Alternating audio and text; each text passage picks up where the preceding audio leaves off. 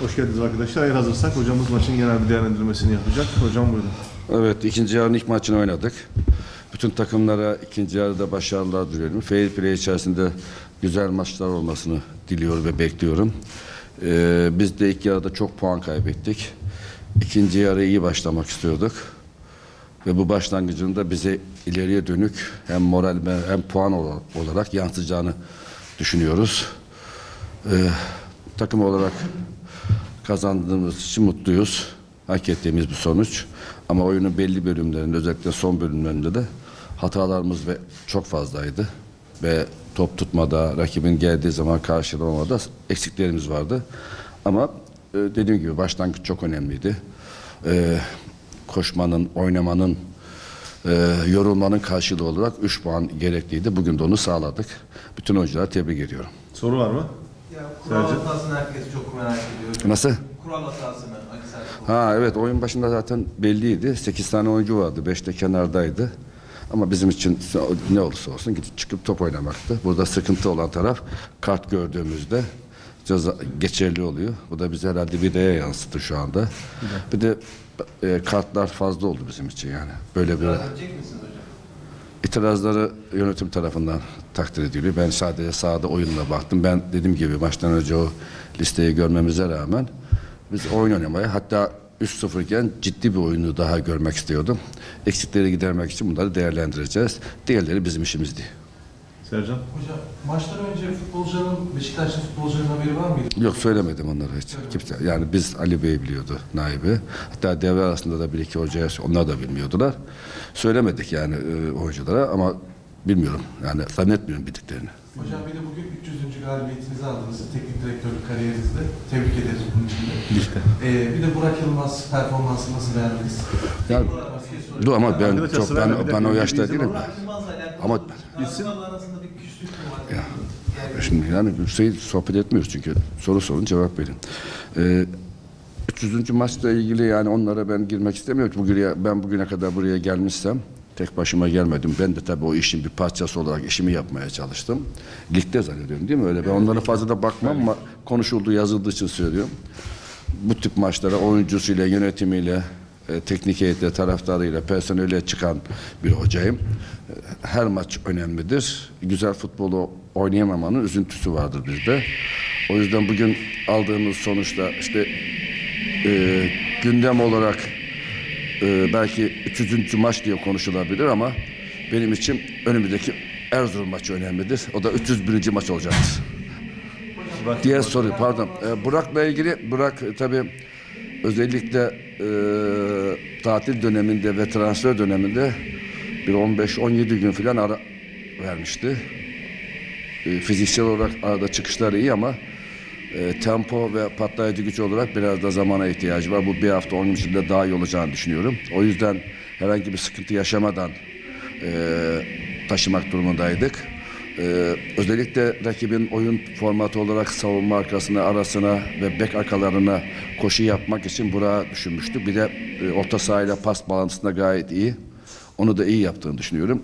E, Gol pozisyonu bir tane buldu. Daha fazla bulabilecek bir oyuncu ama dediğim gibi bunlar biraz zaman istiyor onun için. Yani o zamanı kısa bir süre yani bir hafta on gün içerisinde yani idman ve maç devam ederek olacağını düşünüyorum ama antrenmanlarda Larin de Mustafa da Güven de fena değiller. Yani Forvet'te şu anda biraz daha iyi görünüyoruz. E, bazen beklemediğimiz yerde sıkıntılar çıkıyor. Onları da düzeltmeye çalışacağız. Sizin sorunuz ona bağlı neydi? Taraftarlar arasında bir şey var. Taraftar arasında bir şey yok. Yani se- gayet iyi şu anda. Ee, benim de oyuncunun da zaman zaman hatası varsa eleştiri gelir. Sizin medyanın yaptığı eleştiri gibi de zaman zaman beğenilir beğenilmez. Ama bu e, kendi insanınıza sahip çıkmamaya gerektirmez. E, Burak'ın genel karakterini söylüyorum. Belki görüntü olarak bugün de düştü iki üç defa. Penaltı verseydiler yani Burak'ın suçu mu olacaktı?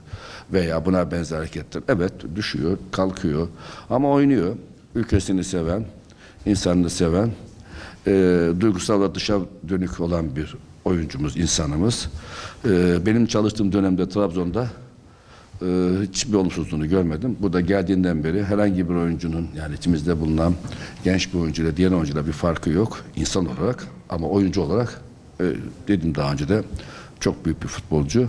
Ondan faydalanacağımızı düşünüyorum. diğer oyuncular da olduğu gibi taraftarın da sahipleneceğini çünkü takım içinde bulunan sayımızın da azaldığı için her oyuncuyu e, taraftarın e, sevmese bile destekleyeceğini düşünüyorum. Çünkü duygusal kırılmalı olanlara saygı duyuyorum, eleştirilere saygı duyuyorum ama bu saygımız bize, kulübe, takıma, kendilerine zarar vermemesi lazım. Öyle olsa çocuklarımız evde hiç olmaması lazım. Tuna Bey. Tuna Akdeniz TRT Spor Hocam, e, devre arasında iki oyuncu e, kadroya kattınız ve ikisi de ilk 11'deydi. Bunlarla ilgili görüşlerinizi dile getirdiniz. Milan özellikle ilk yarıda topla birlikte çok fazla çıkış yapmak istedi ve zaman zaman top kayıplarına siz de kenardan uyarılarda bulundunuz. Hem Milan'in şu ana kadar olan sürecini hem de bu maç özelindeki genel performansını. Uyumlu, iyi niyetli ama oyun anlayışı olarak farklılıklarımız var. E, Belki e, oynadığı lig itibariyle farklı olabilir takım olarak. Biraz sürece de ihtiyacı var. Dinamik bir oyuncu, atletik bir oyuncu. E, topla oynamak bizim ligde biraz daha risktir. Topla oynamak yerine aslında sadece onun için değil, orta saha içinde pas vererek oynamak daha olumlu olacağını düşünüyorum. O yüzden birkaç tane hani getirip de top kaybetmesi veya verdiği pasların sıkıntılı olması aynı şey bir daha içinde geçer. O da yaptı birkaç tane. Bunlar tabii sayısal bir baktığınız zaman 10-15 tane top kaybı oluyor. Hücuma gideceğinin top geri dönüyor. İkinci yarı orta saha forvet e, top kaybedip geri dönecekse biz de karşılamazsak o zaman rakip sizden üstün olur.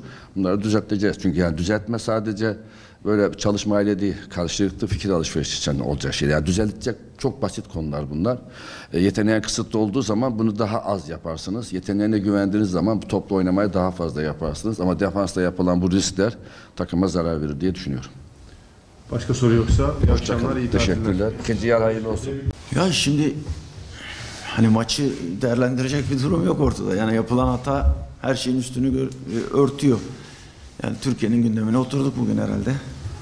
Hem teknik açıdan sıkıntılı hem idari açıdan sıkıntılı bir durum söz konusu. Tabii ki biz hani hatalarla yüzleşmek ve hatalarla yaşamak zorundasınız. Yani bu yapılmış bir şey.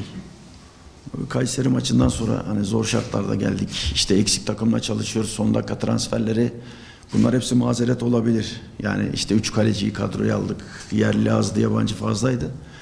Ama sonuçta hem idari hem teknik bir hata var. Yani bu kendi ekibimle de dahil, ben de dahil olmak üzere. Çünkü bu işin birinci adamı biziz bu kulüpte. Teknik olarak. Yoksa diğer türlü yönetim kurulu tabii ki var. Yani bu hatayı üstleniyorum ve bundan da utanç duyuyoruz. Yani bu bizim için zor bir durum.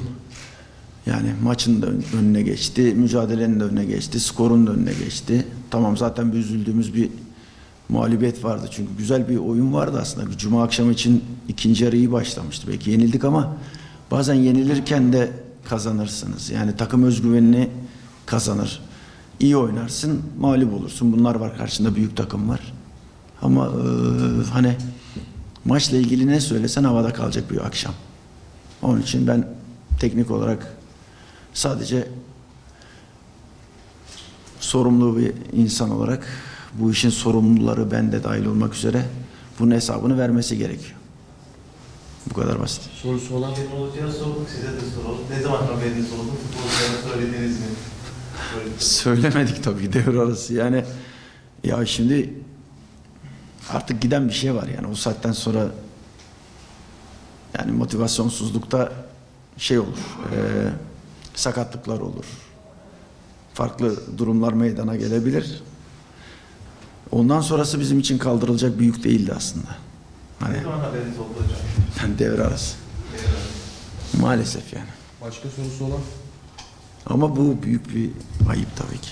Yani bunda hani gülüyoruz ama bakma. Hocam bir de e, bu gece başkanımızın e, belediye başkanlığı adaylığı açıklandı Hüseyin Başkanımızın. Bilginiz var mıdır? Konuda neler dersiniz? Ya şimdi çok enteresan. Benim de abimin belediye başkanlığı açıklandı. Hem açıklandı. Bir kere sevindik yani ama buradan da ciddi bir şekilde üzüldük. Yani skordan çok bu bizi çok üzecek bir durum. E başkanımız yani Salih Bey de bu kulübe çok büyük hizmetler verdi. Çok saygıdeğer bir insandı. Hüseyin Başkan da inşallah bu kulübe çok şey verdi. Şehre de verir. Ama hepsini geç. Bu gece bizim için kara bir gece. Ama Hüseyin Başkan'a da başarılar inşallah. Başka sorusu olan? Teşekkürler. İyi akşamlar.